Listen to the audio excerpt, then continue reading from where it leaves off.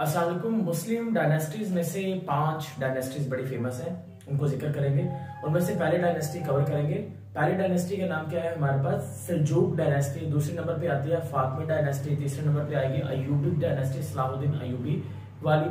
चौथे नंबर पे आएगी सफाविक डायनेस्टी और पांचवी डायनेस्टी, जो कि बड़ी कॉमन है फ़ेमस है Ottoman empire Ottoman dynasty Ottoman साम्राज्य। तो सबसे पहले स्टार्ट करते हैं। मुस्लिम डायनेस्टीज का आगाज़ कहाँ से होता है?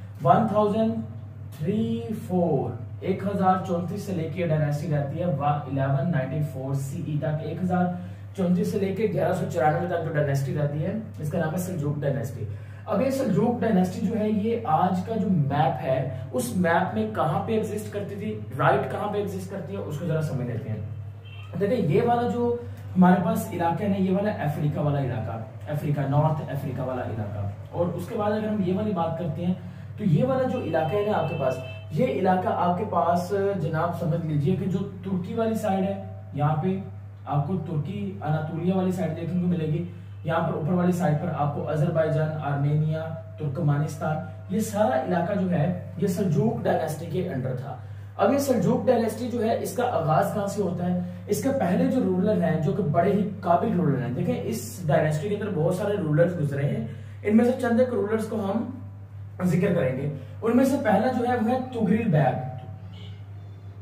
तुगरिल बेग।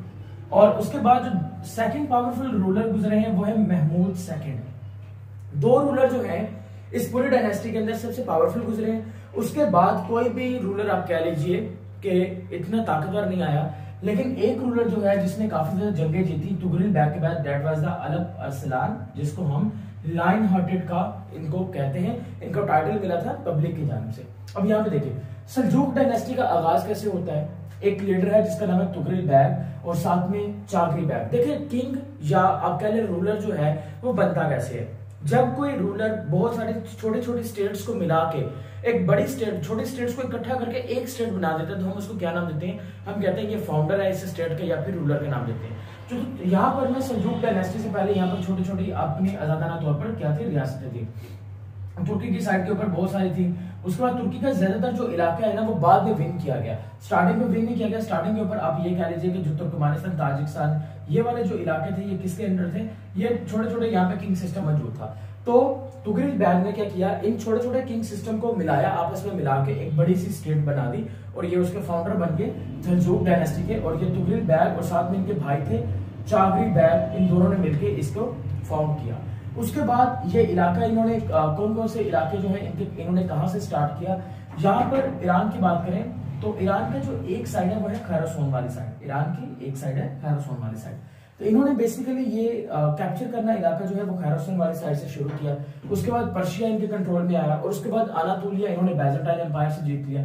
जो ईस्टर्न रोमन एम्पायर है, उनको शिकस्त दी, वहाँ से अनातोलिया कैप्चर कर लिया, पर्शिया कैप्चर कर लिया, खैरसुन कैप्चर कर लिया। तो ये सारे इलाके जो है, इस सल्जूक डायनेस्टी का हिस्सा बन गए वन बाय वन इनकी बड़ी फ़ेमस बैटल थी that was the battle of Manzikert Manzikert 1071 के अंदर जब इन्होंने बेजेंटाइन एम्पायर को शिकस्त दी और बेजेंटाइन एम्पायर को शिकस्त देने, के बाद अनातोलिया वाला इलाका जब इन्होंने कैप्चर किया तो वो वार वो बैटल कौन सी थी? That was the battle of the Manzikert Manzikert एक बड़ी फ़ेमस बैटल थी। शाम से।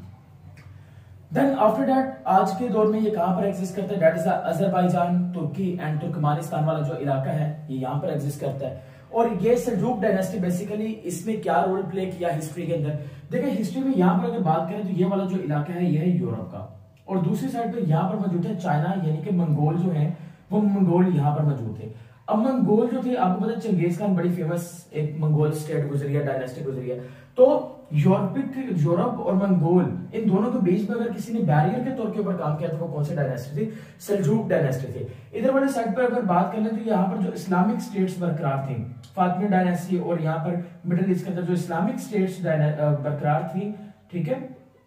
इस्लामिक स्टेट्स जो थी यहाँ पे बीच में। उनके दरमियान में भी जो बैरियर का काम किया, वो किसने किया? मंगोल और इस्लामिक स्टेट्स को बचाने के दरमियान में जो बैरियर का काम किया, वो किसने किया? सलजूक डायनेस्टी ने काम किया।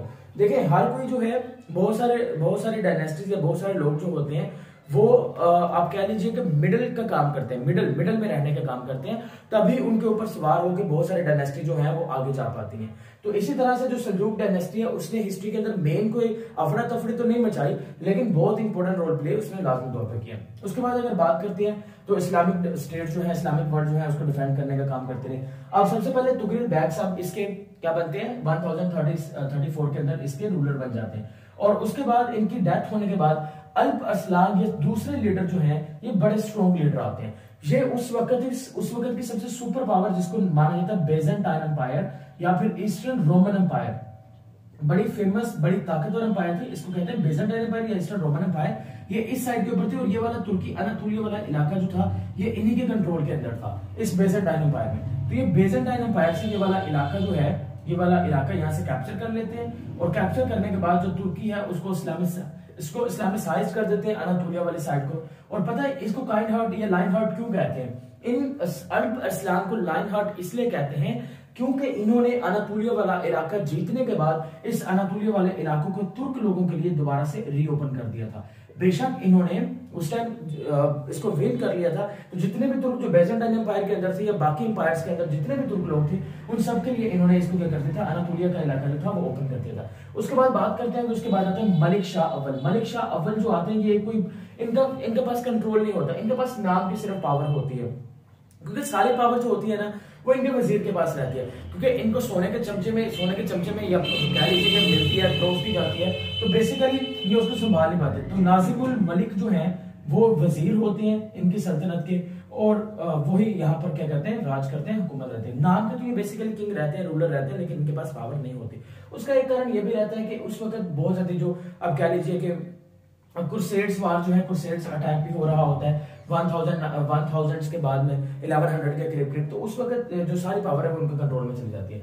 उसके बाद नासरुद्दीन महमूद वन, ये इनके कंट्रोल में चली जाती है। ये भी कोई खा काम नहीं करते, बल्कि थोड़ी बहुत मिलिट्री रिफॉर्म्स करते हैं। उन, इन सब का जो फेलियर है, कि ये कैसे कैसे फेल हुए, मलिक शाह अव्वल फेल हुए, नासरुद्दीन महमूद फेल हुए, उसके बाद तुगरिल सेकंड फेल हो गए। इन सबको गौर से कौन देखता है? बाद में आने वाला एक किंग देखते हैं that was the Mahmud second Mahmud second इन सबको देखता है कि भाई, इनमें कहाँ कहाँ पे प्रॉब्लम आई?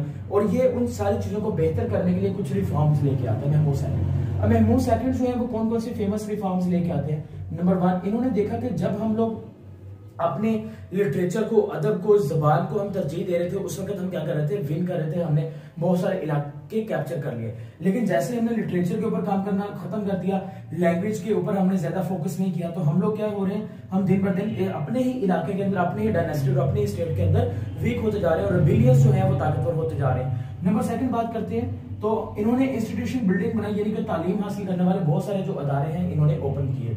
महमूद सेकंड है। उसके बाद पर्शियन कल्चर सपोर्ट इन्होंने बहुत ज़्यादा क्योंकि ये पर्शियन वाली साइड इन्होंने बहुत विन की थी।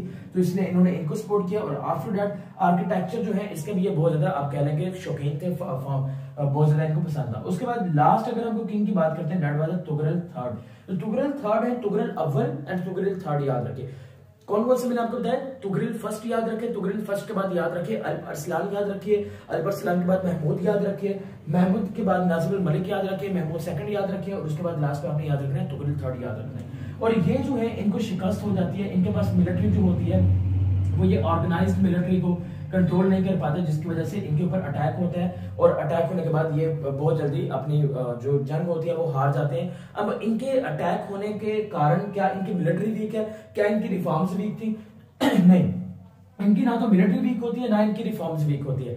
जो प्रॉब्लम रहती है वो ये है कि क्रुसेड्स अटैक होते हैं क्रुसेड्स तो इधर वाली साइड से जो क्रुसेड्स लोग होते हैं ना, वो अटैक कर देते हैं। ये अनातोलिया वाली साइड के ऊपर, अनातोलिया तुर्की वाली साइड के ऊपर क्रुसेड्स क्या कर देते हैं अटैक कर देते हैं। तो क्रुसेड्स के अटैक की वजह से ये जो इलाका होता है, ये बड़ा अनस्टेबल हो जाता है। तो इसी वजह से इसका फ़ायदा कौन उठाता है? अलाउद्दीन टैकिश जो है, वो इसका फ़ायदा उठाते हैं में शाह ऑफ़ ख्वाजर मेन ये दोनों इनका फ़ायदा उठाते हैं और मुश्तर तौर पर ये क्या करते हैं, जंग शुरू करते हैं और तुगरल थर्ड जो है, ये जंग को हार जाते हैं, जिसके नतीजे में जो सलजूक डायनेस्टी है, उस अपने अख्ताम को पहुँच जाती है।